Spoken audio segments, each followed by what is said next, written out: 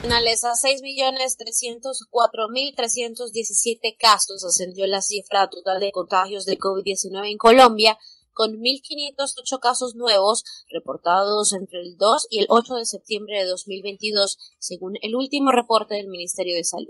De acuerdo con la entidad, 141.708 personas han fallecido en Colombia a causa del coronavirus y se registran en este momento 3.632 casos activos en el país.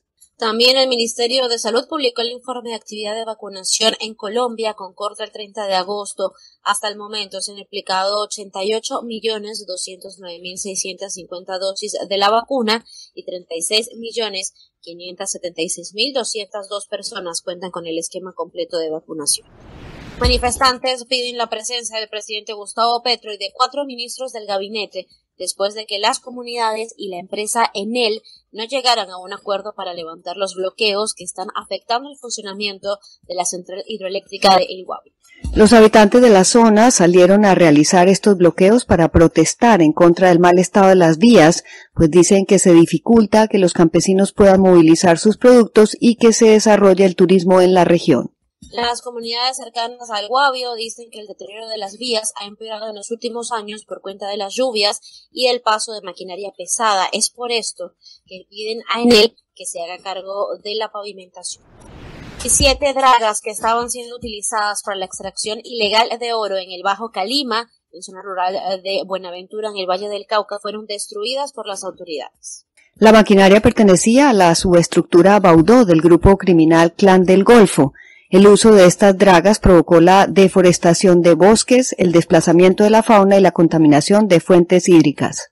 Según las autoridades, la maquinaria destruida tenía un valor aproximado de 250 mil millones de pesos y con su funcionamiento generaba 73 mil millones de pesos mensuales en rentas ilegales.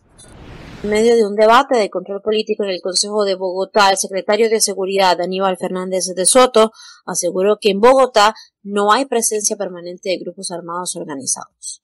Sin embargo, el funcionario del distrito agregó que hay nueve bandas locales que tendrían vinculación directa con las FARC, el Clan del Golfo o el ELN y que operan en zona rural, pero que el narcotráfico que llega a la ciudad no se genera en Bogotá.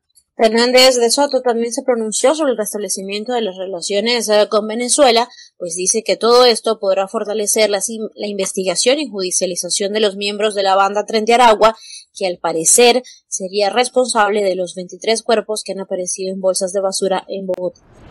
El presidente Gustavo Petro anunció que Piedad Urdinola será la nueva directora del Departamento Administrativo Nacional de Estadística, el DANE, cargo que recordemos ocupó de manera eficiente Juan Daniel Oviedo durante el primer, durante el gobierno anterior.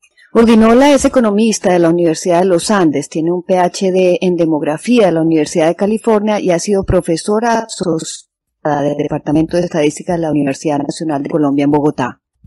La nueva directora del DANE también trabajó como directora del Observatorio Demográfico y Epidemiológico del área andina y la funcionaria será posesionada en su cargo la próxima semana.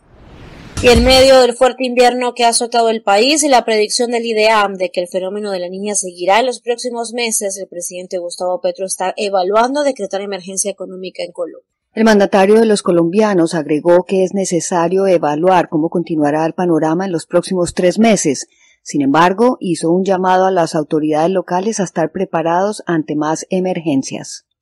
Explicó que es importante que estén disponibles los recursos para cubrir el hambre de las comunidades que resulten afectadas por el invierno.